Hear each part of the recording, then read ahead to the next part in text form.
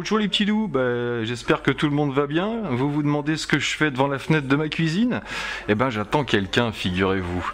Ouais, eh ben euh, j'ai le trac. j'ai un champion de FPV qui va pas tarder à arriver. Et euh, bah rassurez-vous, euh, je pense que je vais filmer son arrivée. Allez, je vous laisse parce que ça va durer entre une minute et, et 10 minutes, donc je vais pas attendre là. Et je vous reprends dès qu'il arrive, promis. Que vois-je? Un camion tout zarbi avec un Pablo dedans Ouais Un Pablo dans du chaland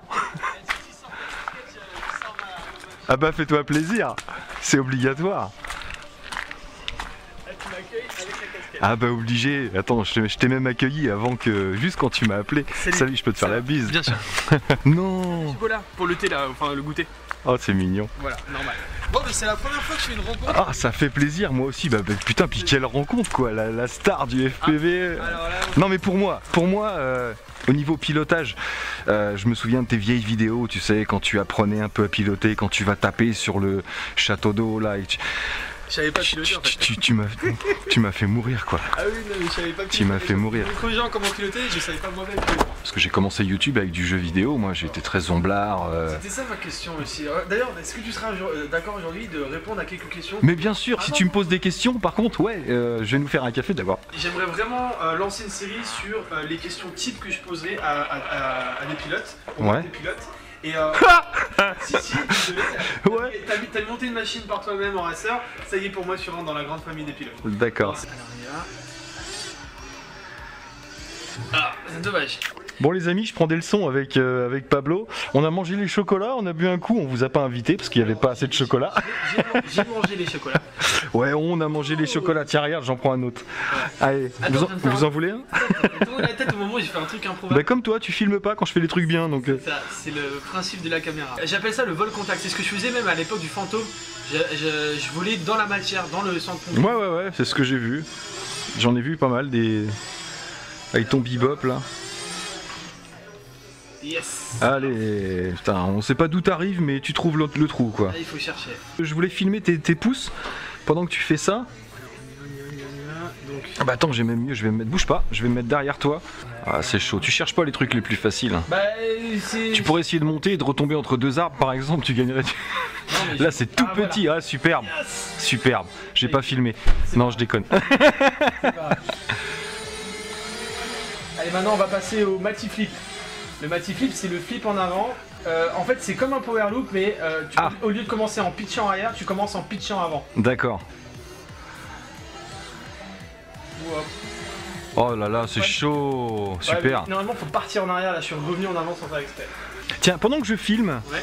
est-ce que tu, à la limite, euh, tu donnes un nom de figure Ouais. et t'essayes de nous la faire Ok. euh, du style, euh, du style power loop déjà entre deux arbres pour que Alors, tout le monde comprenne. Power loop, c'est, en fait le power loop, c'est faire une boucle comme un looping, mais en, en arrivant en bas, en montant, en allant en arrière et en repassant dans le même endroit où tu es rentré. Euh, J'enlève quoi la nacelle? Vas-y, on enlève tout ce qui sert à rien. Euh, Le, le- le- l'accéléromètre, enlève-le. hein Non, Non, vas-y, 60, vas-y, c'est bien 50, 50. 50 Ouais. Vas-y. Normalement, je devrais moins. Bah, Sinon, on peut ajouter de la gravité aussi. hein. Ça, ça marche aussi pareil. Alors, hop. C'est là qu'il faut pas lâcher le gaz parce que c'est ce qui nous ramène vers l'arrière. Voilà, Et en fait, le gaz, on arrête à partir du moment où on se retrouve à l'envers pratiquement. c'est ça. En fait, faut pas mettre du gaz vers le, vers le bas quand t'es sur le dos. Faut se retrouver. Ouais, surtout pas. On gaz, gaz, gaz. Stop le gaz. Ouais, c'est ça. Voilà, c'est ça. Donc quand- dès qu'on se retrouve pratiquement à l'envers, Ensuite, le, le- donc le front, le Mati Flip, moi j'appelle ça. c'est un power loop à l'envers. Ah Alors là, c'est super touché, chaud. Mais c'était bien parti. Voilà, alors, on part d'en bas. On lève le cul, on pitch en avant et on remet un peu de gaz pour stabiliser. Alors, rien compris, mais. Alors en fait, on part en avant, on fait un flip avant et euh, on remet du gaz pour venir se poser en arrière tout simplement. En fait, déjà, tu peux t'entraîner à faire un truc c'est euh, tu prends un repère, par exemple la tour là devant nous, Ouais, tu vas au pied de la tour et t'apprends à faire de la marche arrière sans t'écraser. d'accord. Alors là, je suis monté, donc ça veut dire qu'il faut que je pitch, pitch plus arrière. Ah ouais, Alors on y va. faut bien connaître sa machine. hein. D'accord, ouais, là j'aurais eu l'impression de me cracher moi, Bah ouais, de, partir au crash. sur la mémoire des commandes, tu sais que en, en tant de temps, en tel angle, C'est ça c'est ça. C'est pas que la vue en fait, c'est la mémoire des, des gestes. Le, oui, le, le tempo, Ouais. le tempo et la puissance des sticks. Ouais, parce que là, regarde, je suis à peu près en stationnaire, pourtant j'ai l'impression de tomber en arrière. T'as vu? Ouais, ouais, carrément, ouais. C'est l'angle de caméra. C'est ton pitch, ça, ouais, ton, tilt. Pour faire la marche arrière, il faut, il faut aller beaucoup plus en arrière que ce que tu imagines. Tiens, un truc qui peut intéresser tout le monde, c'est euh, justement pour se poser en mode accro. Ah bah tiens, alors. Avec un gros tilt, parce que là on est à combien? À 40 il T'es à a- 40 de tilt? Il n'y a pas assez de tilt, je trouve. Alors moi, ce que je fais, eh, regardez, pour me poser, Attends, je vérifie, ouais. Ouais, Pour me poser, c'est que je prends un repère, par exemple là, la tige en face de moi. Je sais que euh, au sol, elle est, elle est verticale, donc j'essaie de me poser à ses pieds. D'accord. En fait, je prends un repère visuel. Moi aussi j'ai pensé même emmener, tu sais, mon... j'ai une manche à air Ouais. que j'emmène des fois sur mes vidéos pour se poser, comme ça tu vois ta manche à air. Mais quand t'as pas, quand t'as par exemple un tapis au sol Ouais. et que tu dois arriver pour réussir, à, genre en fin de course de, de Alors, race, Mets-moi vachement plus de pitch, comme ça on va. On va monsieur cherche la difficulté. On voit encore le sol en fait. D'accord, allez. Non, mais non, Si, si, si. arrête. À 60 degrés, c'est énorme. Faut plus voir le sol, c'est ce qui compte. Ouais, bah je pense pas que tu le vois là. C'est bon, là on voit plus le sol. Ah non, pas du tout, non. Donc, et, et donc là c'est ça, c'est, on, on a une tour devant nous, bon je l'utilise, donc je vais essayer de me poser au pied de la tour. Ok, hop hop hop hop. D'accord. Voilà. Ok, donc là, quand on a un repère visuel, c'est l'idéal. On n'a pas de repère visuel, on va aller au milieu du. Oh putain, 言ってた Donc oui, petite astuce pour ceux qui commencent, euh, pendant qu'ils se chauffent les pouces, euh, vous pouvez emmener soit un drapeau qui va faire 2 mètres de haut, par exemple, ou une manche à air comme moi j'ai sur mes vidéos, euh, de façon à pouvoir avoir un point de repère quand vous voulez vous poser et que vous avez trop de tilt pour les débutants. Et sinon, bah, Pablo va nous montrer comment... Là, on a un tilt de 60 degrés. Ouais, mais en réalité, ça, c'est, je mets jamais 60, je mets plutôt 45-50. Bah oui, Et, et en fait, ça donne pas autant que ce que voilà. Donc ce que je fais quand j'ai pas de repère, c'est je tourne en rond, une d'accord. sorte de spirale, et hop, je désarme. Ok, ok, d'accord, super. C'est, euh, je, me, je me rapproche du On sol. va, on va remettre en, en normal à peu près pour tout le monde, parce que là c'est vraiment exagéré. Non, non, mais justement, euh, euh, en normal, on voit le sol, donc c'est facile. Oui, mais pour qu'ils se rendent compte de, de ce que tu fais, euh, en, En, euh, 35 du coup. 35-40, ouais, ce que tu fais à peu près. Ce que font les débutants, c'est souvent ça. C'est vrai. T'arrives près du sol, tu mets en stab pour te poser, c'est tout bête, c'est que. et là en fait tu t'arrêtes. Et je descends doucement les gaz, et quand j'ai l'impression que le sol est près de moi, je, je remets un peu de gaz pour pas me taper trop fort, et à un moment, hop, je désarme. Ok, d'accord, ouais. Ensuite, Donc c'est vraiment- C'est la même chose, sauf que tu vois le sol, tu vois pas le sol en fait. Donc, Bah ouais. Ce qu'il faut faire, c'est Ouais. où tu fais la spirale. Ouais, tu vas nous remontrer là, la petite spirale. On va rajouter. euh, Donc on a un angle de 65 degrés, donc là c'est énorme. voilà, on voit pas du tout le sol, et même le pied de l'arbre à côté de nous, on le voit pas. Regardez. Donc 65, ça fait à peu près ça hein, comme angle de caméra. C'est monstrueux. hein. Donc, on va aller dans la, dans la plaine, là où il n'y a pas de repère visuel. D'ailleurs, tu peux nous faire un petit coup de. Après là, en 65, ça doit. Ça pulse pas mal. Ouais, t'es full throttle, et Ah, là, on, de monter, il avance. on sent bien la puissance. hein. Voilà. Alors, donc, pas de repère visuel. Donc, j'ai envie de ma. euh, de- faut choisir un endroit où se poser, disons une tâche là, euh, celle-ci là, ok. Donc, j'arrive à côté, je tourne autour, je fais un orbite, elle est là la tâche, et à un moment, je me rapproche, je me rapproche, je me rapproche, et voilà. Et après, pour se poser, il faut réussir à pas arriver vite dessus, parce que, en fait, si, si t'as beaucoup de vitesse avant ton obstacle, quand tu vas le voir freiner, en fait, tu auras déjà passé ton obstacle que, que tu auras Ouais, Là, c'est bon, je suis à peu près à son pied. Hop, pitch arrière, je et je descends les gaz. En fait, au dernier moment, c'est vraiment t'amplifies le fait que tu vois pas le sol. En faisant du pitch arrière, en fait, tu remets la machine à plat. D'ailleurs, toi, tu euh, armes à l'inter euh, ou tu Ouais. armes au, au stick. j'arme à l'inter. C'est très important. J'ai un minimum de rotation tout le temps. Il faut jamais euh, désarmer au stick. Ah non. À, à se retour- à- à s'écraser et se faire mal. Ouais, puis c'est dangereux. C'est moi j'aime bien l'inter. euh. J'ai même deux sécurités. Moi j'ai le ici ouais. mise en route au premier cran ici Ouais. et je stoppe en poussant aussi. Ok, alors moi j'ai deux choses, c'est que euh, j'arme avec lui, et lui en fait c'est un throttle cut, c'est-à-dire que quand il est vers le haut, même si je mets 100%... Oh, putain. N'aie pas peur, c'est pas un vrai drone. le réflexe du FPV, tu sais. Planquez-vous Parce que normalement, moi, quand je mets 100% de gaz avec cette position, il- le drone il fait, il fait rien en fait. Il est, il est bloqué à 0% de gaz. Ok. Et donc, je déverrouille les gaz, et là, j'ai quelque chose. Là, il y a les gaz qui sont C'est comme si t'avais deux, deux coupes-circuits quoi. En fait, c'est- c'est. J'arme pour être sûr que le moteur tourne, mais par accident. Ah oui, ton moteur tourne quand tu armes. Les moteurs tournent. C'est juste un coupe throttle. Et là, quand je fais ça, eh ben, le, le gaz il, il réagit pas. En fait, c'est un safe mode forcé sur le throttle quoi. On appelle ça la- la- le throttle cut. Euh, en gros, la coupure gaz, c'est 0% de gaz même si tu mets 100% sur le stick, il y aura 0 à cause de ça. et tu déverrouilles les gaz. Donc j'ai besoin de deux actions D'accord. pour que si la radio tombe, il faudrait pas avoir de chance que les deux euh, soient activés et qu'en plus euh, les gaz soient vers le haut. Mais malgré tout, ça suffit pas en fait pour euh, de- à, à éviter les accidents. Il y a pas longtemps, j'ai posé ma radio, ça a activé mes deux inters et en plus mes gaz n'étaient pas à zéro. Donc la machine elle est partie sur moi et je l'ai évité de peu. Donc là, là bientôt, dans les prochaines fois que je bricole mes machines, je vais faire activer le double armement. C'est-à-dire que pour armer la machine, il faut faire une, deux fois. D'accord. C'est tac, tac, ça y est, la machine arme. Et ça, c'est un truc qui arrive jamais par accident. Quand tu tombes là, quand tu fais tomber ta radio ou que ta manche attrape le, le, le stick, elle va jamais faire. Oui, c'est clair. Elle va une fois. Donc une fois suffira pas. C'est ça. Donc double armement. Par contre, il y a pas mal de drones aussi où euh, quand le throttle est pas à zéro, Il arme pas. voilà, même Ça, si Ça, c'est la base même. Tout beta flight, euh, tous les beta flight ne font que euh, quand tu armes et que tu as gaz à, à fond, et ça va pas armer. bah, même gaz en- en- engagé. 2% de Ouais, ouais, ouais, ouais, ouais, ça fonctionne pas.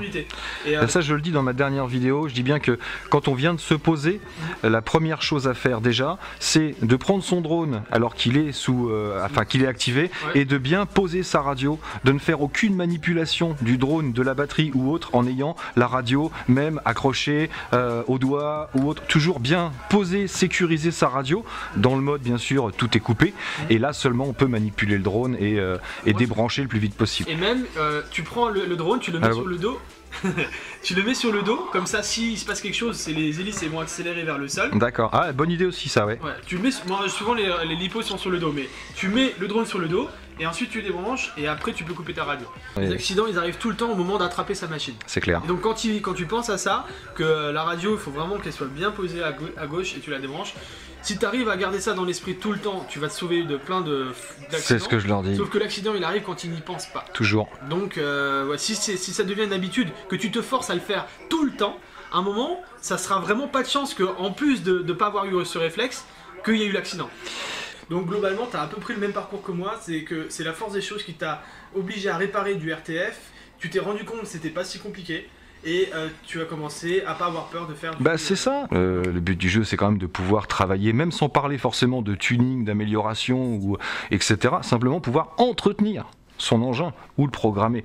On est obligé de mettre le nez dedans. Euh, je me suis fait remarquer par certains sites de vente qui m'ont proposé des partenariats et puis bah, je me suis laissé tenter et puis et puis je suis tombé amoureux de ma petite famille, de ma petite communauté du coup qu'on a pu créer, que ce soit avec les Tazoo, avec euh, Taskiller 85 euh, et tout ce qui se greffe autour, puis Pablo bien sûr. Et, euh, et ben, je trouve que cette petite communauté là, bah, si on continue à se serrer les coudes comme ça et puis à se à s'entraider entre nous, ouais, je pense qu'on ira loin et et qu'il y a de l'avenir. Fait, une de tes vidéos que j'ai euh, regardé complet et que même j'ai... Ouais, la seule qui la seule qui l'ait regardé en fait. hein, Non, non, non. Mais celle, celle que j'étais vraiment euh, happé dès le début par euh, le résultat de cette vidéo, c'est quand tu expliques ton cheminement euh, sur le FPV. Comment tu as débuté le FPV Tu as pris le temps de plein plein de vols. Et donc j'ai vu que tu as, dit, j'ai commencé au sol, Par la voiture. caméra, et après tu as commencé à faire du, du drone stabilisé, après tu t'es mis à l'accro doucement. Et en fait, ça montre qu'il y a une, toute une- une- un parcours d'apprentissage qui peut être long ou très court, ça dépend là, les techniques que tu utilises. Mais moi j'ai beaucoup aimé cette vidéo parce que tu montres aux gens qu'on n'est pas comme ça en, deux, en, en claquant des Ah non, non, bah merci, c'est gentil en tout cas d'avoir aimé au moins une vidéo à moi. Et euh, j'aime bien, j'aime bien le chambrer. Bah, aujourd'hui, les gens ont cette chance-là de pouvoir commencer avec un petit engin qu'ils peuvent faire voler à vue. Mhm. Euh, ils peuvent faire du simulateur, ils peuvent s'initier à l'accro, ils auront un effet un peu de rendu du masque parce que c'est un petit masque, mais ça donne déjà le rendu. Aujourd'hui, j'ai envie de dire, pour 70 ou 80 balles, tu peux avoir le kit complet pour, euh, pour savoir si tu vas aimer. D'accord.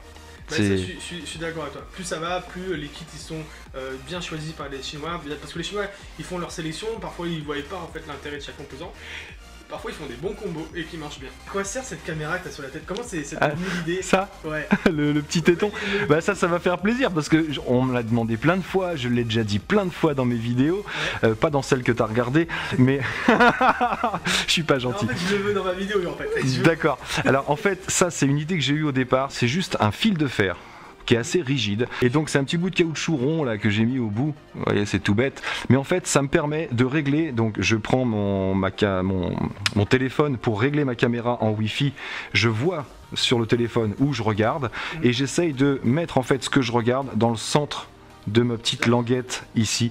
Donc ce qui fait qu'après quand je fais voler un drone, bah, pour regarder euh, Pablo, c'est facile, je regarde Pablo, je sais qu'il va être dans l'angle puisque c'est du grand angle, mais quand vous voulez bien suivre un drone en l'air, eh ben c'est super important de pouvoir le laisser dans le viseur. Vous êtes sûr que le C'est dingue. En fait, moi je pensais que c'était pour cadrer quand t'étais assis sur la chaise pour euh, filmer tes vidéos. En fait, c'est surtout pour suivre une machine en l'air. et je te dis la finalité, Ah ouais. c'est pour suivre une machine en l'air et pouvoir la mettre, parce qu'après je fais des montages avec des incrustations d'images dans les angles, c'est pour pouvoir être sûr de laisser la machine dans telle ou telle partie De l'image. Oh, alors là, par contre, là j'a- j'avais pas suivi l'explication jusqu'au bout. On va faire un truc super intéressant. Par contre, tu m'appelles pas du coup. Ah non, mais du coup. Il est énorme. Je suis habitué. Du coup, du coup, t'es habitué, mais pas du coup.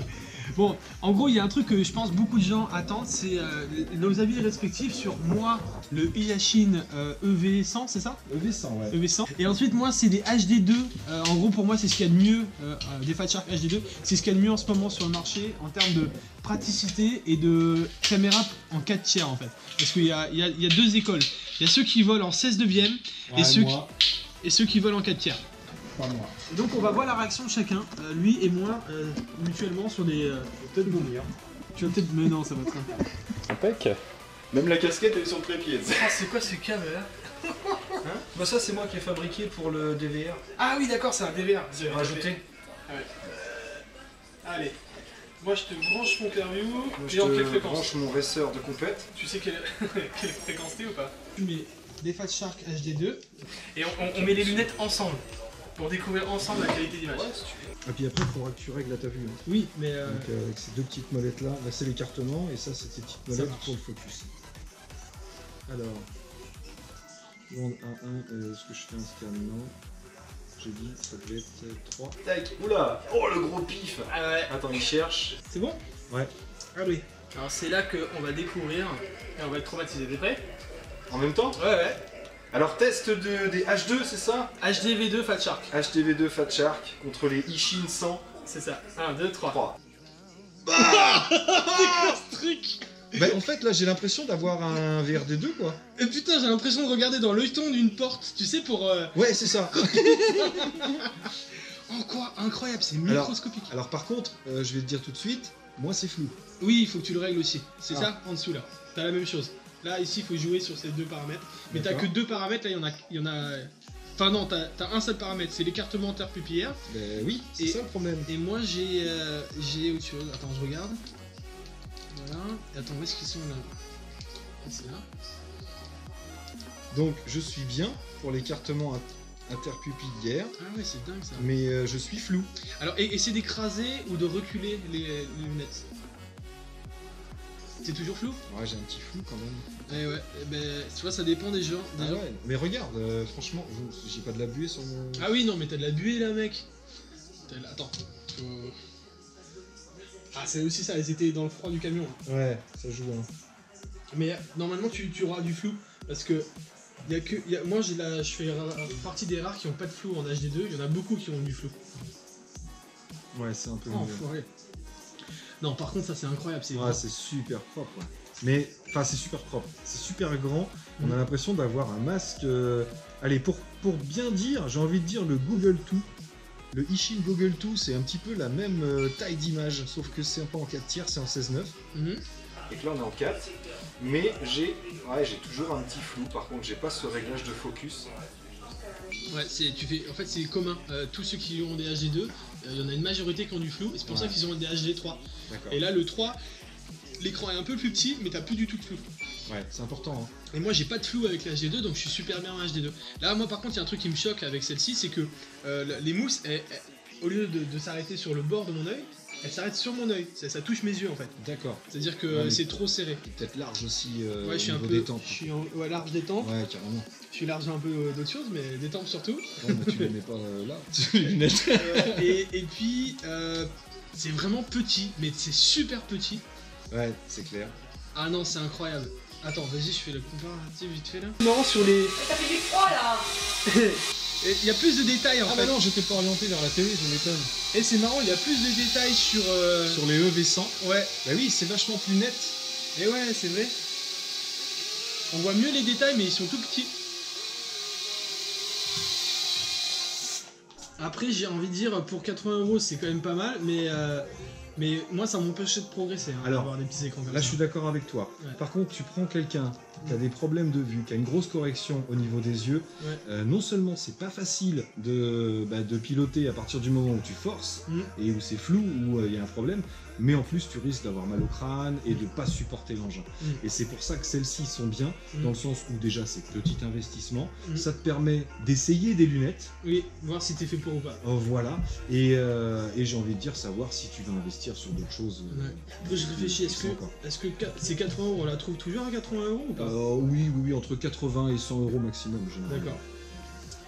Bon, j'ai envie de dire, c'est moi, moi je préférais toujours des lunettes qu'un masque, même à même à petit, plus petit écran. Ouais.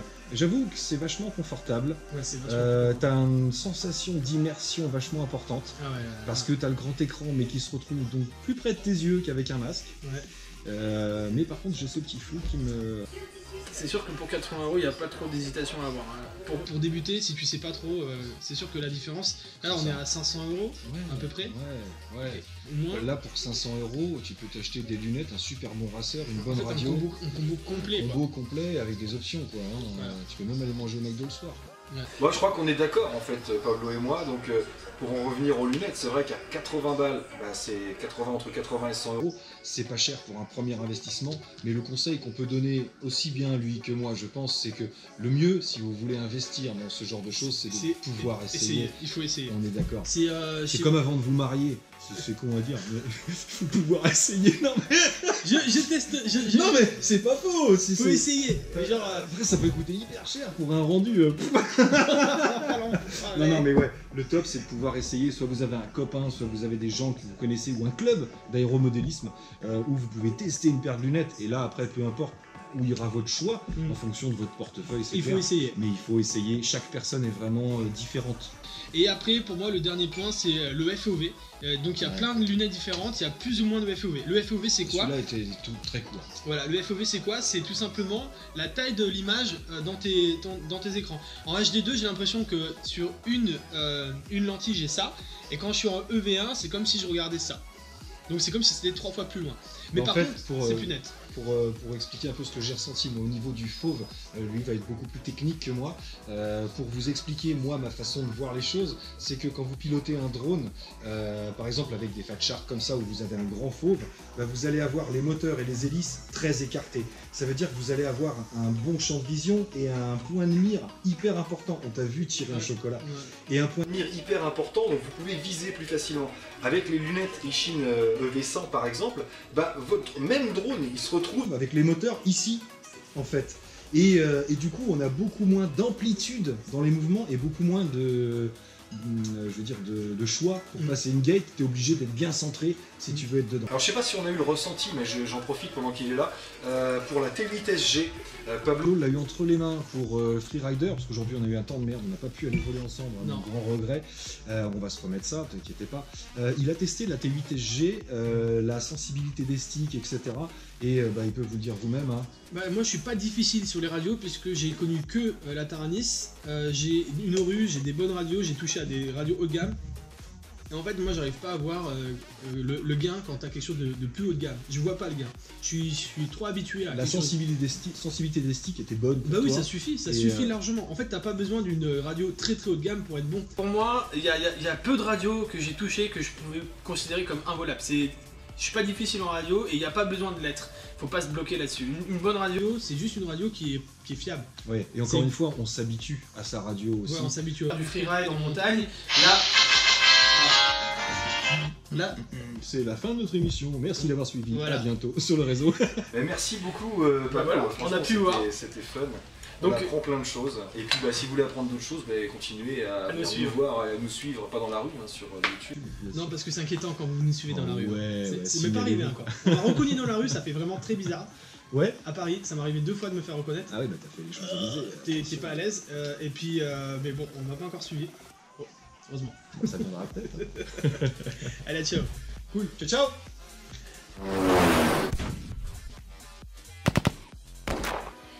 C'est quoi ça? C'était un power loop?